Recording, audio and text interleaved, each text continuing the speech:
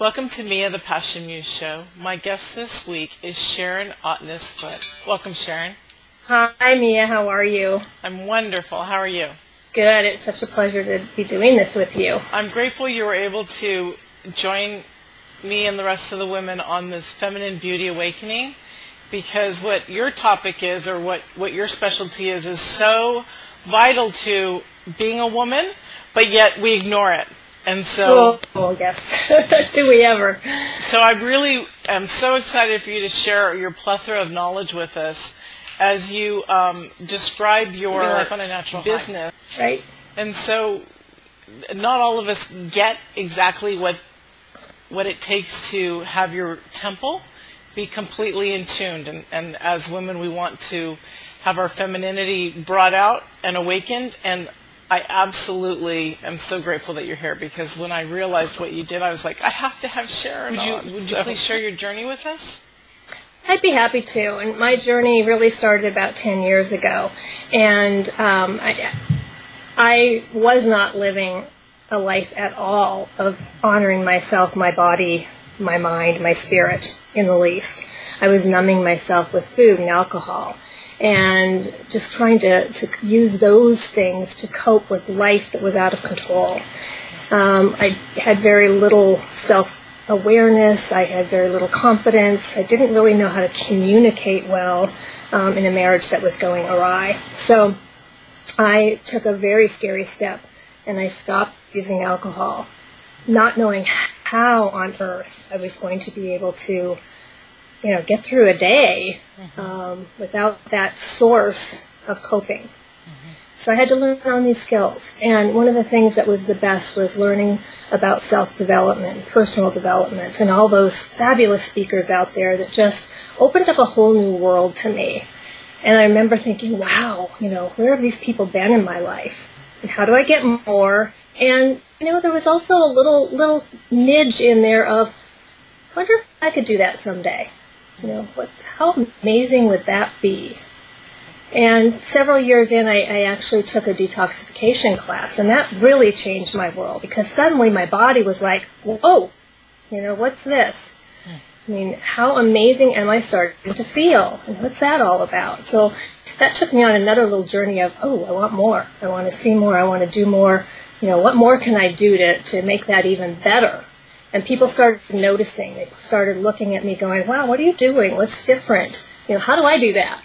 And so um, when I moved to LA, I actually um, went to a, a, school and just I wanted some certification. I wanted to, you know, really get started on this new path the right way so that I could really help people the best. And so now I'm just loving what I'm doing and what I call awakening your body to wellness.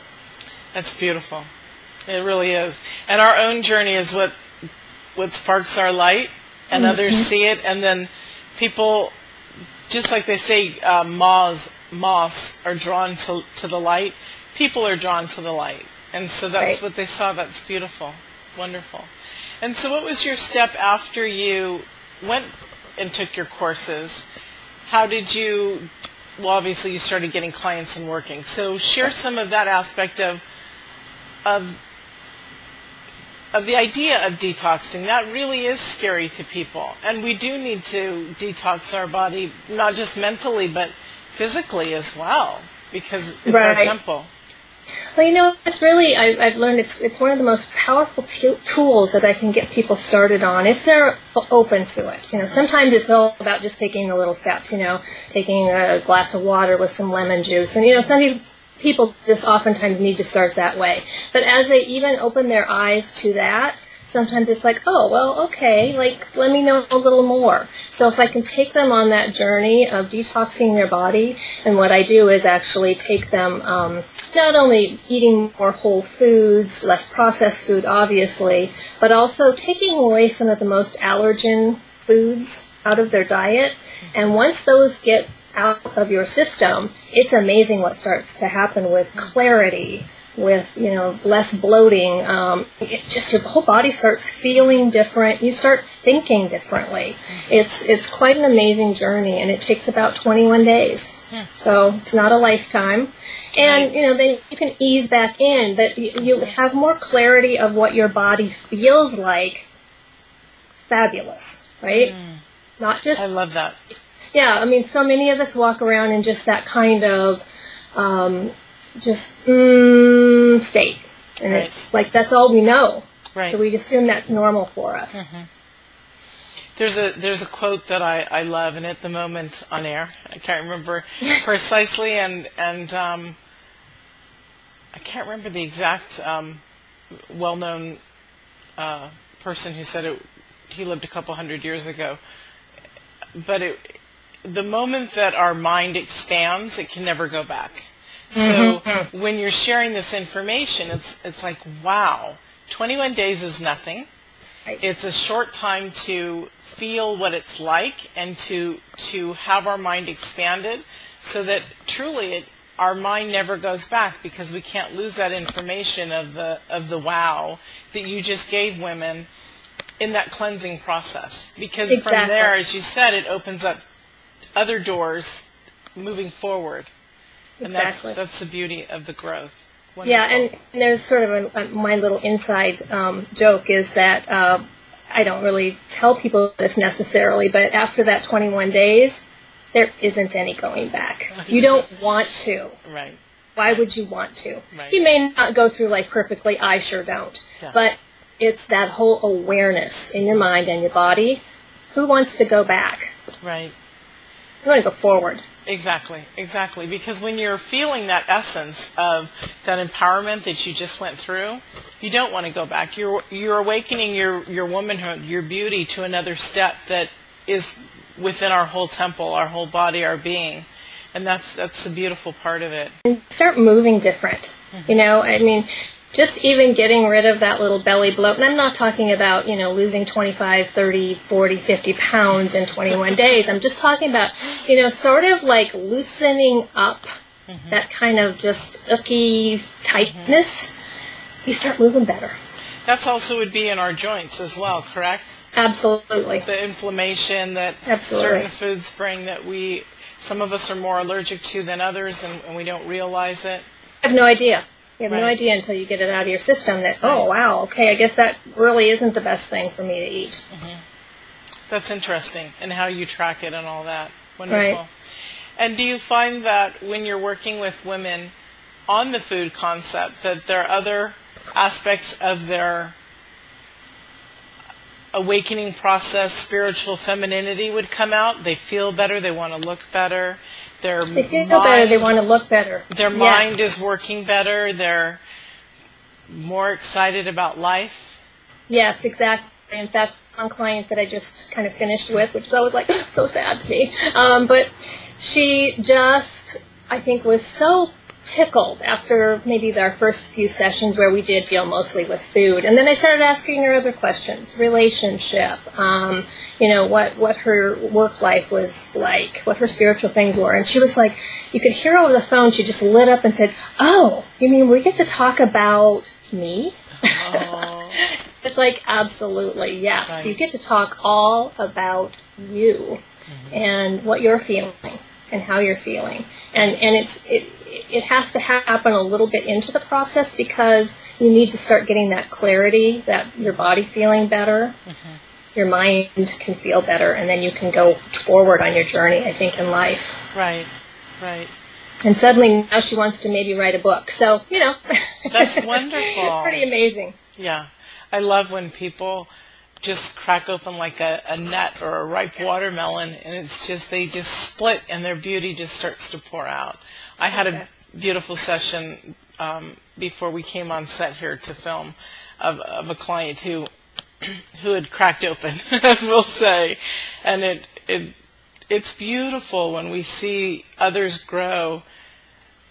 It's amazing, doesn't it? Just it? yes, it just it's it's because what we're doing is helping the sisterhood, helping other women and men if they if they would like the help, but we're helping people to grow in internally by doing the some of the external or experiential type of things that, that we're working with them. And, and it's really beautiful when, when we see the progress. And and it doesn't it melt your heart and it makes you say this is what I'm made to do. This is what I'm here to do.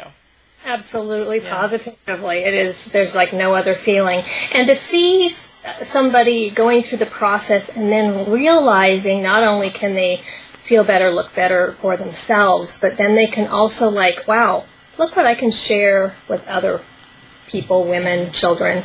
You know, it just opens a whole new world of possibility. Mm-hmm. I love that. I love that. It's very passion based. Yes. So, because a lot of women um, who might be watching this are just deciding to experiment, as women, we, we feed ourselves and we, we feed ourselves or stuff to hold down certain things that really need to come out. So, what are some of the type of foods that you would? I, I, saw you had a program advertised for a while about eliminating sugar and things right. like that, and that's not forever, ladies. That's just temporary, and if you want to do it forever, after that, that's fine. But it's wonderful to just experiment and to and to try it and see what what blesses your your body. Right, and especially the the processed sugars. Um, you know, we're hardwired to love sugar. There's no question about it. And there's reasons that we've always needed some sweet in our life, of course. So it's not about getting rid of all sweetness, but it's about getting rid of especially processed foods, overly processed mm-hmm. foods. So sugar being one of them, um, wheat being one of them, or the glutens right. dairy products, those kinds of things. That you know, think about macaroni and cheese. Is there a better comfort food out there? I don't think so. That or ice cream. you know, but they're creamy, they're right. wonderful, sweet. But it gets, dairy. but we can change our thought process because Absolutely. those used to be my favorites, and now I can't tolerate them at all because yes. I've programmed myself to know that that that is not the type of food that that goes well with my body. Not only does it hurt my tummy, but it also um, makes me feel lethargic and slow. And so when we put our heart and mind together on decisions like that, it's really, really easy. When I, I had lost um, 140 pounds in seven months, no surgery, all on my own, I sort of did a, at first a modified Atkins, and then I went on a, a, another type of a program. But my sister would say to me, who was always very, very slim, and, and I had gained the weight on purpose, was to keep men away. Mm-hmm. And then I realized that I was killing myself, or I was actually told that I was killing myself, that I was dying from a doctor. And so um, when I made that heart mind connection, there was nothing that could stop me. I thought, I'm going to do this, or I'm going to die. And I, ha- I really had to make the change. And my sister said, Aren't you eating desserts? And I said, I could lay naked in a giant chocolate cake and have it surround me and I, I don't care to touch it. I just don't care. And now I might have a bite or two of somebody's, but you know, but that's it. And that's you know, it's just it becomes a, a thought pattern and process in our body. Our body doesn't crave it when we eliminate right. that stuff. It's, and I love that. Well, and also I think that you, you know, it sounds like also you've learned new coping skills. There's other, re, you know, other things you go to mm-hmm. than that food. Right. I think if you can gain a, another kind of a spiritual practice of meditation, a yoga, breathing, you know, something else, just again taking care of your body in non-food ways, mm-hmm. makes a huge difference. Right. You know? And and when we do make what we would consider ourselves a mistake, you just step back and say it's okay. I'm getting back on to the practice of taking care of who I am right now. Meaning, exactly. yeah, meaning it's all right that that happened. Nothing, nothing is gonna, you know, the earth's not gonna come to an end. It's mm-hmm. okay. Be gentle with myself and just begin again. Exactly. It's it's what I call getting rid of that. I'll start on Monday syndrome. Mm-hmm. You know. Right. Uh, I've already goofed. I, I, you know, what the heck? I'll, I'll start again on Monday. Well, well, we don't have to wait till Monday. We don't have to wait till Monday. You can, you can, you know, in in that next minute, Exactly. Exactly. Right and if you're feeling weak, the next morning, you know, if it's late at night, just stop it. Mm-hmm. Pray, love yourself. Do your nightly routine or whatever. Go to bed and wake up with that beautiful, um, inspired notion that you're going to to pick up where you left off. I find that when I go to bed and meditate, and I meditate on um, having a successful day the next day, not only of waking up bright and happy, and but when I want to follow my of being eating or being who I need to be on a certain path so that I feel better and I was struggling, I usually meditate at night personally, and then I wake up without any of those type of cravings or or um, counterproductive activities that that would you know sometimes stop us. I mean, everybody has their own own way of, of dealing with it, but I just threw that in for fun. Well, that is fun. And one of the things that I do first thing in the morning is I have a rule that before my feet hit the floor, mm-hmm. I start my day off with a smile. Oh, oh, I love that. It's an easy thing to do, and try having a bad day after that. You know, Yeah. it just it just puts everything in perspective. Like, hey, here I am in the world. I'm gonna have a great day. And part of being um, a beautiful woman is to wear that smile because it Right. shines from the inside out. And some people say, "Oh, but I'm not. I'm not beautiful. I'm not pretty." Yes, you are. You're beautiful. You're beautiful because your insides are beautiful and they shine forth. And who cannot recognize that and be a part of it? It's part of our feminine wiles and everything else. Right. Well, that's why I love so much the work that you do, Mia. It's, it just you. helps everybody just realize that beauty they have within. Thank you. I love that you said that you smile before you your feet hit the floor. I'm gonna I'm, I'm gonna try that. One thing that I do, one thing that I do within if I don't have to rush to the restroom is, and I've trained myself because it's part of my nutritional factor of accomplishing all my water intake is I have a full glass of water sitting by my bedside that I put there the night before. You know, of course, if I need it in the middle of the night, but it's there for me. And I wake up and I drink my 12 to 16 ounces of water because for me, eight ounces is not a glass. You know, I mean, technically they're they're bigger nowadays.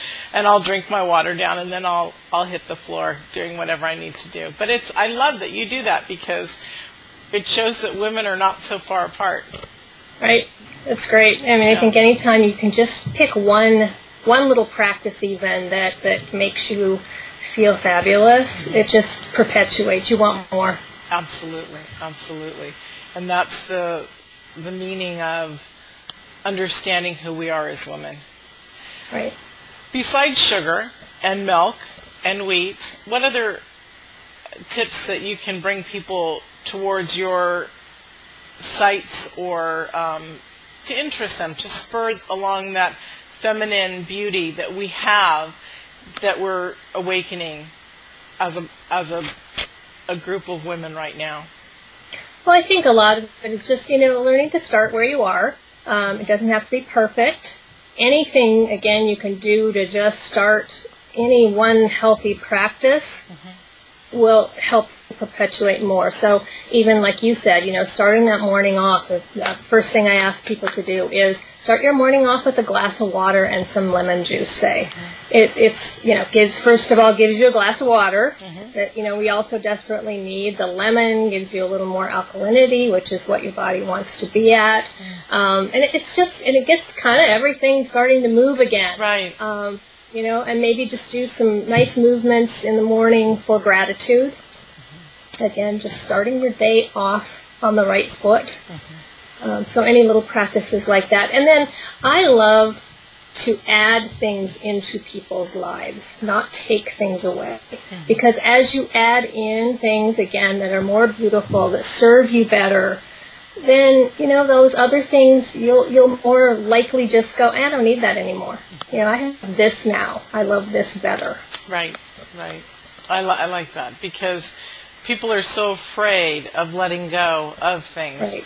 But when they melt away because they're not needed anymore, that's It's that's- beautiful. It is. It is Beautiful. because we replace them with something that we love so much that touches us deeper, and that's what I love about the growth within me, which I see within you, and I see within my clients, and I see within my girlfriends, I see within everybody is as we grow, the this the beauty that we feel it becomes unstoppable. We can't Absolutely. we can't stop. We we need and want more, and that's what I want the whole world to feel is that is that beautiful empowerment of I am an awesome person because we all are. Right. And it's about, you know, just don't don't be settling for that mediocrity. That, Right. you know, that sort of low vibration of like, ah, everything's just okay. Right. You know, that's not good enough. No. We can do better. We And deserve better. And I was reading on some of your stuff about about raising the vibration level, and that is so important because if our vibration level isn't high enough, we are not. Well, we're not putting out to the world that it is because we're not feeling it. Right. You can't. You don't have enough to barely, you know, get yourself through the day, let alone help other people. Right. Because, and, and, and I'm not talking about all the things that we find busyness to do and all the things that everybody else needs us to do or thinks that we should do for them. Mm-hmm. Um, you know, that's, that's not, that's not putting yourself out in the world. That's, just, you know, kind of getting through the day with all that crazy myriad of stuff that mm-hmm. oftentimes doesn't even need to be done. Right. Right. Exactly.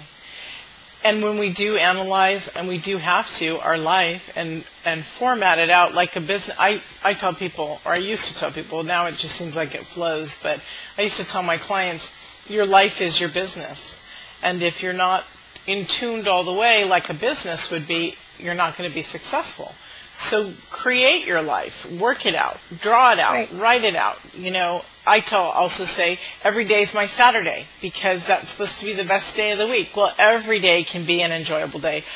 I, I do I take the day off every single day and sit on the beach? No, but I can still feel just as amazing as I do working with clients uh, when I write, when we're doing interviews.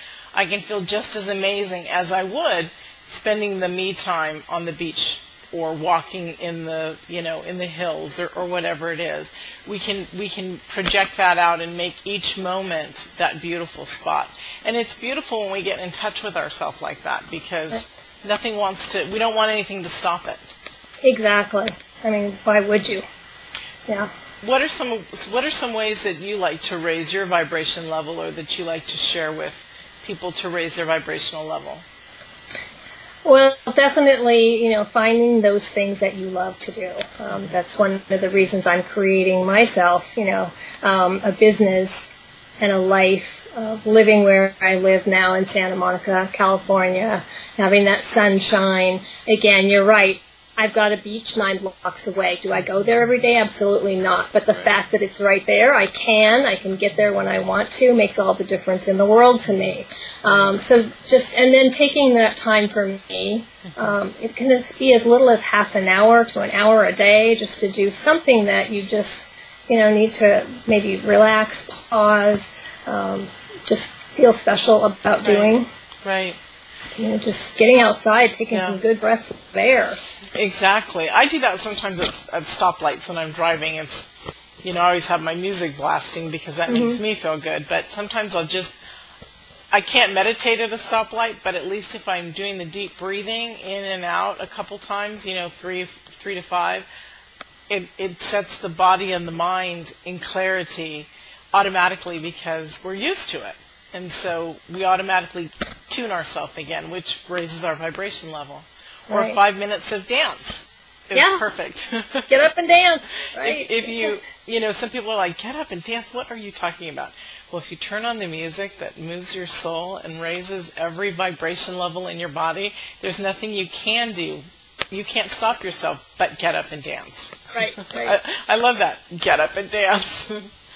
there have been a lot of healings that I've heard of, of women who've literally healed their bodies through um, coming, connecting with that sensual, um, sensual, sexual, vibrational level through dance, because it's very, very powerful, and that's what this, all this awakening the, the women um, to beauty is about, is to raise our vibration level so that we heal the entire body, the, the temple, the inner, the outer, the hair. The Right. Well, I think anytime you just get more in tune with your body, you know, um, again, through food, through movement, Yes. uh, anything you can do to just be more aware of how you're feeling, how you're doing. You know, look at me, I'm moving, moving, moving. But um, it just makes all the difference in the world to feeling more sensual as a woman. Right. Because we're meant to be that way. Yes. And I'm not talking about sex per se. I'm just talking about that, that feeling Exactly. Good in your body. Mm-hmm. and and feeling all the elements. We have five senses, and if we're not viewing things as beautiful as we're walking around and how green the trees are and how red the rose is, we're not enjoying the beauty of that sense. If we're not listening, if we have hearing, if we're blessed to have hearing, and we're not listening to music, we're not listening fully to what somebody's saying, we're not enjoying that level of that sense. And if we're not tasting the food, even if it's food that you're not used to, that you're trying to cleanse yourself with, if you taste it and taste the, the, the lemon in the water, mm, and you get in touch with that feeling, that's the sensualness of a woman that you're talking about. That's the sensualness of life. That's what awakens us and keeps us spurred and, and energetic and the touch of the feeling on the glass. And I could go on and on.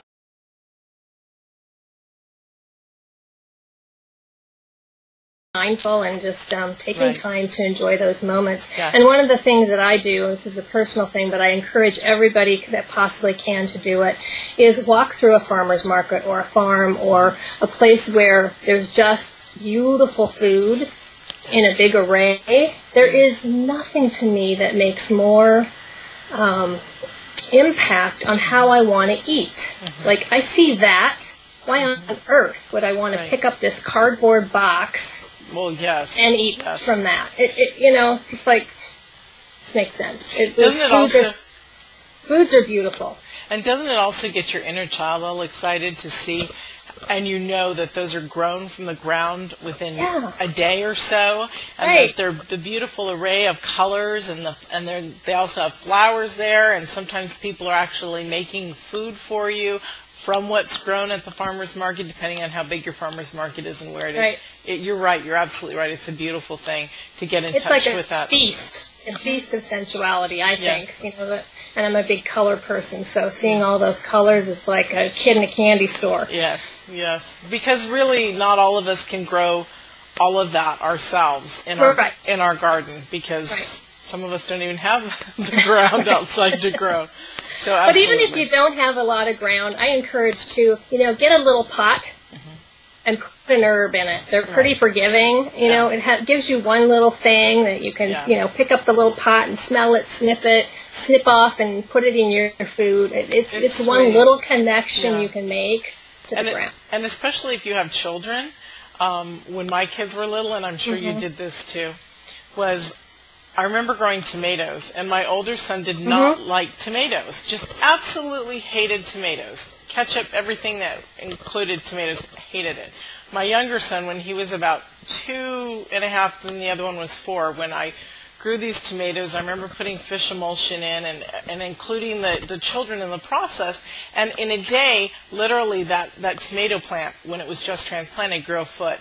So they were so excited about the growth that they just started watching the tomatoes growing. Mm-hmm. And my older son kept saying, What is this, Mommy? What is this? And I said, Because I knew he didn't like tomatoes, I said, It's God's fruit. It's sun fruit. And so the younger one, he was so cute, he couldn't wait for them to turn red. He would pick them off at playtime and he'd eat the hard green tomatoes because they were God's fruit. I love that story. I mean, it, it melts my heart. You know, I can see my children playing, and know. and so you're right. The beauty of tasting what you're growing, even if you are an impetuous child and you can't wait for it to turn red and ripen, and you have to have it while it's green.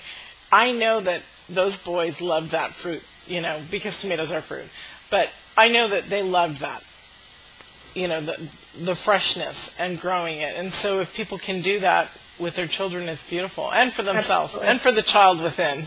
Right, absolutely. I, I, I did the same. I had cherry tomato plants I grew specifically for my daughter because she would eat them like candy. Mm-hmm. You know, just like you said, right off the vine, just pop them in her mouth as quick as she could. Yeah. Yeah, it was so fun. It's beautiful. Well, thank you. Our time is up, and your um, what, your information will be on on the credits at the end. Okay. And I appreciate you joining me on on this segment to awaken the beauty, the feminine beauty within us all. Thank you oh, so it's much, been Sharon. such a pleasure. Thank you, Mia. Thank you so much. And we'll see you all next week. Have a great week.